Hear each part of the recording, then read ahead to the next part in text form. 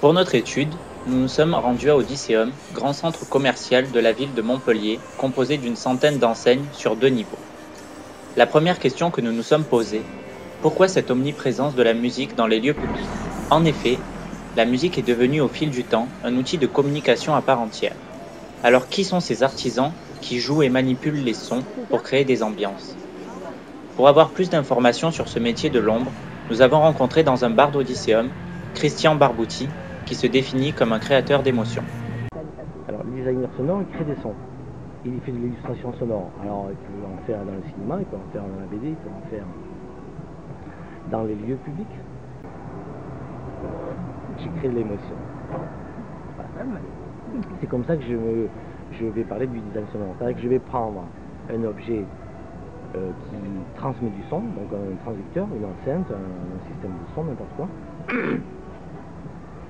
Je vais le mettre dans un lieu, l'immerger dans un lieu, étudier ce lieu, cette architecture, à quoi sert ce lieu, qu'est-ce qu'on va y faire, qu'est-ce qu'on recherche? Alors là, c'est après, c'est euh, de discuter avec euh, les gens qui tiennent ce, lieu et dire qu'est-ce que vous voulez exactement?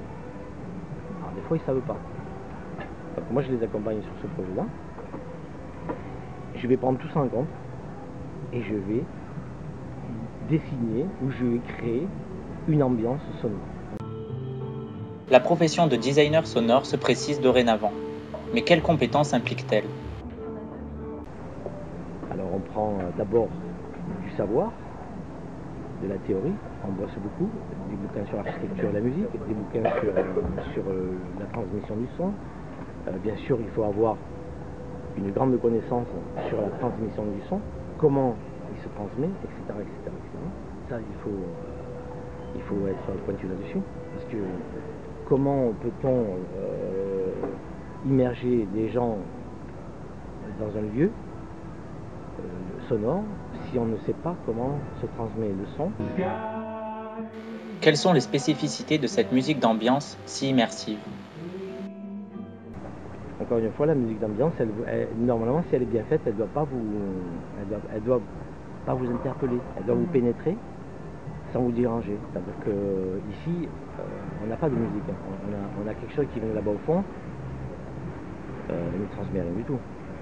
On a un truc sonore là-bas, c'est, on aurait un autoradio, c'est pareil euh, un poste, ça, fait pareil. Donc la musique d'ambiance, c'est ça, C'est qu'à un moment donné, on va créer une, enveloppe sonore dans laquelle on attend quoi? On attend quoi de cette musique? Est-ce qu'on veut les rendre zen? Est-ce qu'on veut les inciter à consommer? Si on est dans un bar, un bar musical ou une boîte de nuit, est-ce qu'on veut, à un moment donné, euh, provoquer des émotions? Mais la musique est-elle capitale? Mais les gens ne se rendent pas compte de l'intérêt de ça, que cette musique-là peut euh, mettre les gens dans un état souhaité. Donc oui, c'est capital. C'est de suite la question que je pose qu'est-ce que vous voulez transmettre à votre euh, vos gens qui vont venir, qui vont passer, qui vont traverser ou qui vont s'arrêter Est-ce que vous voulez qu'ils traversent ou vous voulez qu'ils s'arrêtent Pour qu'ils s'arrêtent, eh bien voilà, encore une fois, on répond à la question de tout à l'heure. Oui, c'est capital, il faut que les gens soient dans une enveloppe sonore qui soit adaptée à ce qui se passe à l'image, soit raccord, et qu'on les garde comme ça. Les professionnels attribuent une grande importance à la musique diffusée dans les lieux publics. Elle accompagne le consommateur au quotidien et joue sur son comportement. Au-delà de la simple diffusion de la musique, la transmission d'émotions passe par la prise en compte de paramètres techniques, d'une réflexion, d'une maîtrise. Louis Augusto, responsable de Nature et Découverte Odysseum, nous donne un point de vue plus commercial sur la question. Le but de la musique, en fait, c'est de relaxer les gens. Alors bon, après, il y a suivant, euh, y a des musiques de relaxation, mais aussi des musiques comme vous pouvez l'entendre là en ce moment. C'est plutôt de la musique euh, du monde. Euh, et, suivant les heures, on met pas du tout la même musique. Ça veut dire que le début de matinée, on va mettre plutôt des musiques relaxantes.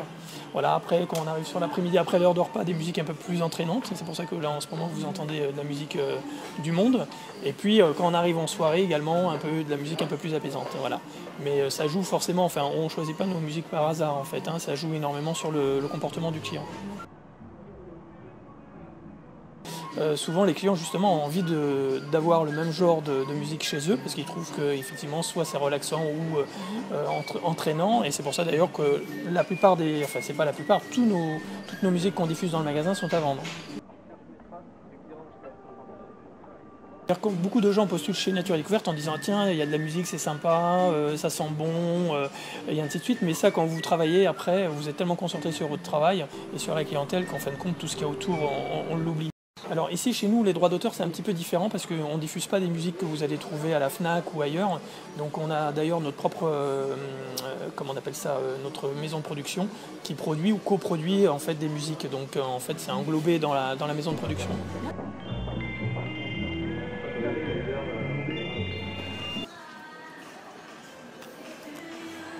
Généraliste pour convenir au grand public la plupart du temps, les styles de musique varient selon les enseignes. Ainsi, l'impact dans la conscience du consommateur sera différent.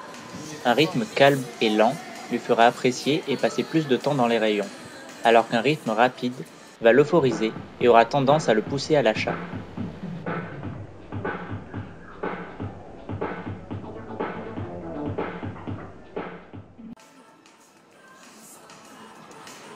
Il ne fait aucun doute que cette communication auditive s'inscrit pleinement dans une démarche commerciale.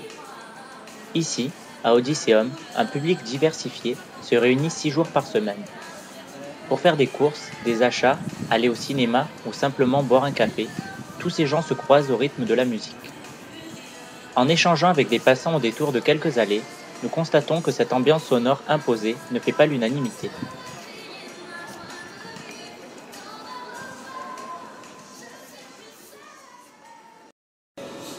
La musique dans les lieux publics, pour moi, c'est quelque chose qui augmente le bruit ambiant et qui est désagréable.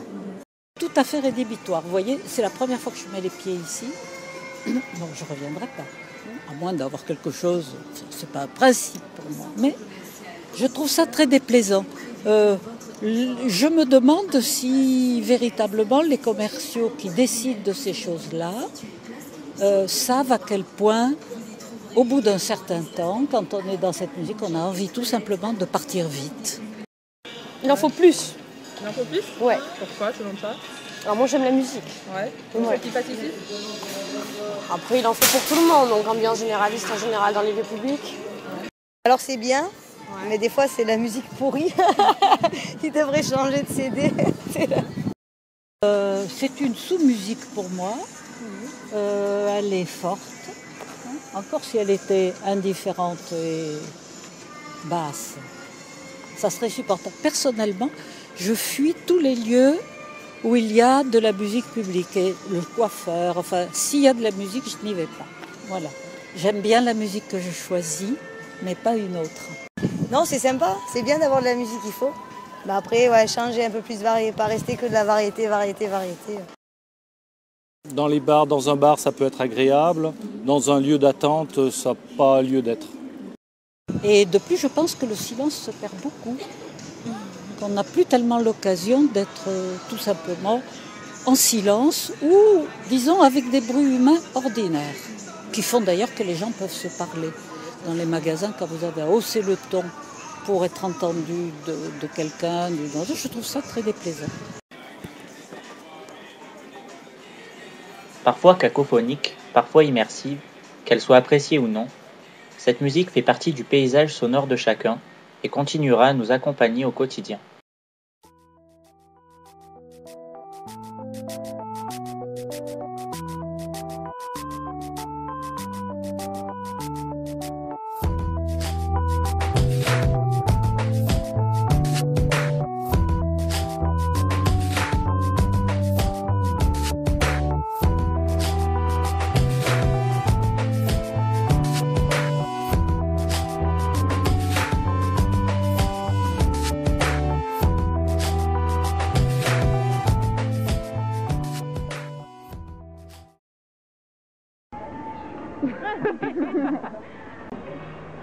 Ça t'arrive de danser euh, sur la musique un peu de temps en temps hein